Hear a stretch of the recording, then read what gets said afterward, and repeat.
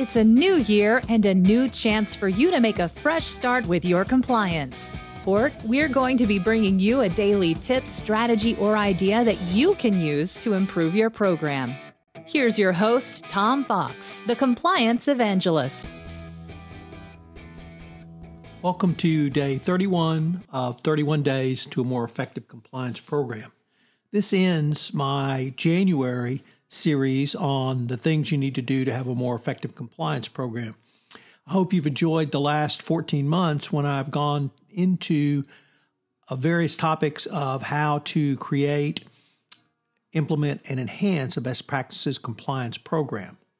I will shortly be coming out with a new podcast series which I focus on the nuts and bolts of compliance called the Compliance Handbook. So, today's topic is using a root cause analysis for remediation. The 2020 update reemphasized the need for performing a root cause analysis, but equally importantly, using it to remediate your compliance program. It stated a hallmark of a compliance program is working effectively in practice to the extent to which the company is able to conduct a thoughtful root cause analysis of any misconduct and timely and appropriately remediate to address the root causes. It went on to state what steps the company has taken that demonstrate recognition of the seriousness of the misconduct, acceptance of the responsibility of it, and the implementation of measures to reduce the risk of repetition of the misconduct, including measures to identify the future risks. You should begin with the question of who should perform the remediation. Should it be an investigator or uh, an investigative team, which were part of the root cause analysis? Jonathan Marks believed the key is both independence and objectivity. It may be that an investigator or investigative team is a subject matter expert and therefore more qualified to get that particular recourse. Yet to perform the remediation, the key is to integrate the information developed from the root cause analysis into a solution. Marks further noted that the company may also have deficiencies in internal controls. More importantly, the failure to remediate gaps in internal controls provides the opportunity for additional errors or misconduct to occur. This could damage the company's credibility with the regulators, allowing the same or similar incident to reoccur. Finally, both the 2020 update and the FCPA corporate enforcement policy, the DOJ has added its voice to prior SEC statements that regulators will focus on what steps the company took upon learning of the misconduct, whether the company immediately stopped the misconduct, what new and effective internal controls or procedures the company has adopted or plans to adopt. As required under the 2020 update from the regulatory process, the critical element is how do you use the information you develop from a root cause analysis? Every time you see a problem as a CCO, you must perform a root cause analysis. Was something done or approved or not approved uh, before the untoward event happened? Was any harm done? Why or why not? Why did the system fail? Was it because the person who was doing the approval was too busy?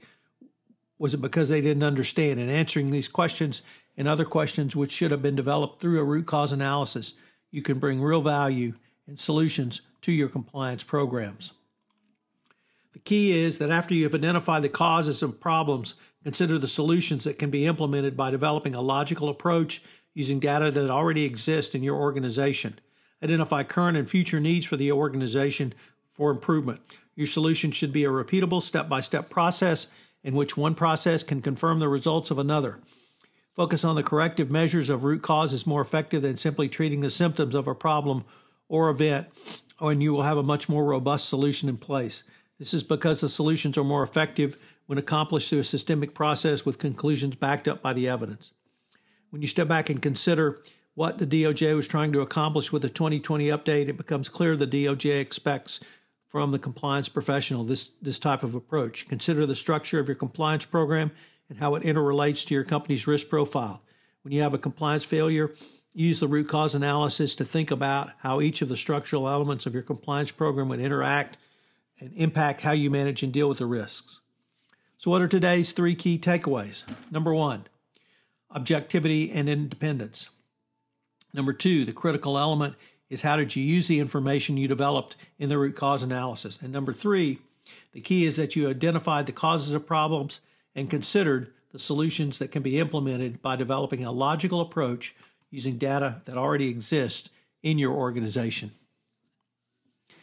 So, as I told you in the introduction to this podcast, I'm going to actually change the focus of this nuts and bolts series a little bit and move to a um, weekly series on the compliance handbook.